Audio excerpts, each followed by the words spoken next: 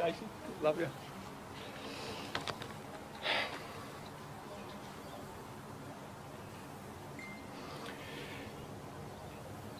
Every person on this planet will die. We don't know when, and most don't know what will kill them. But it's not death we should fear. Death is inev- inevitable. It's time. Time is our enemy. Time is the one commodity we cannot buy, we cannot stop, and if death of our beloved Ken has taught us anything, is to live life to the fullest and not wait, to take the trip, to start afresh, to visit family and friends, but more importantly, to know that time waits for no man, so the time is now. Today you're going to hear about a warrior, a man with more strength and courage than most. You hear about his life's journey, his life, likes, his people, his family, and the one he loved with all his heart. You'll hear stories from his loved ones and his friends. I am one of those friends. As I look around, I see many faces of sorrow. Ken would not have liked to be amongst such a crowd. He was far too happy to be sad. And if Ken were here, he'd wonder why so many of his family and friends didn't know each other. So please make the effort to say hi to family member, to a friend of Ken's you never knew existed until now. I only know six people here, to be honest with you. I look out on the crowd and I think, wow, Ken touched a lot of lives. My name is Bill Edgar. To me, Ken was the smiling assassin. The only time I didn't see him smile is when he spoke about those who infiltrated his and Stacey's family business and destroyed it from the inside out. But Ken wouldn't allow them to destroy his name, to destroy his name, Stacey's name or his people's name.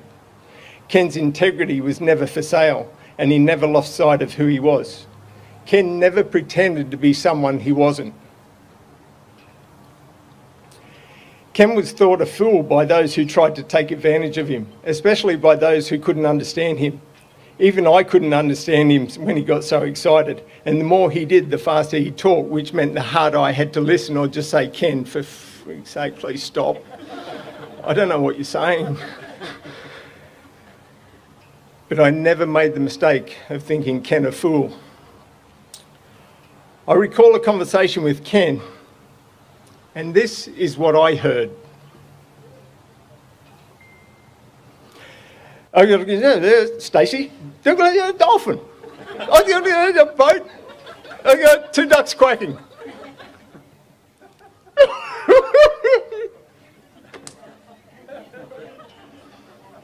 Ken was so excited telling that story.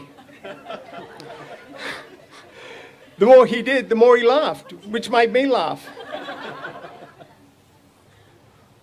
And when I walked away,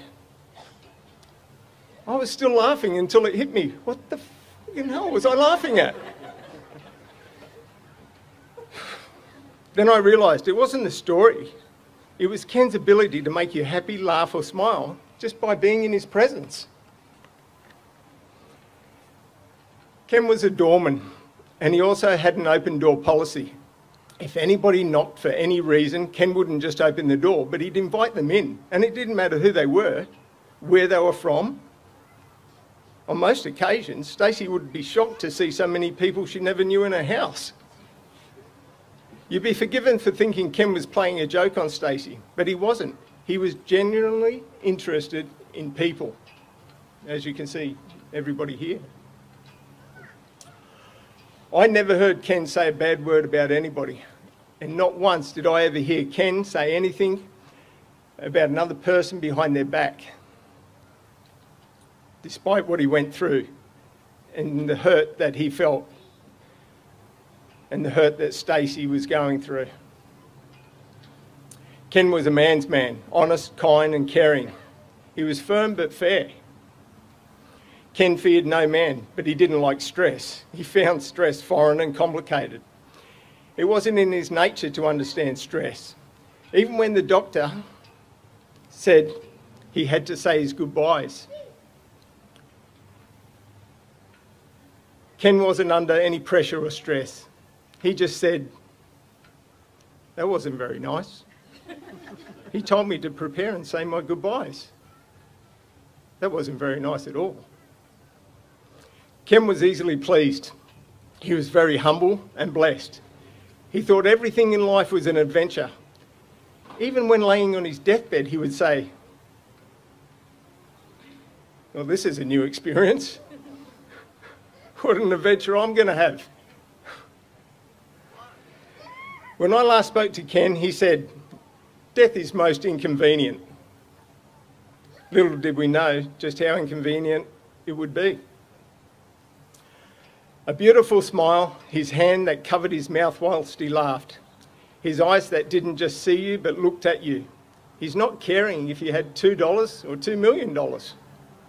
His love for those around him, his love for his people, and his mateship is what you will remember about my friend, our friend, your friend Ken.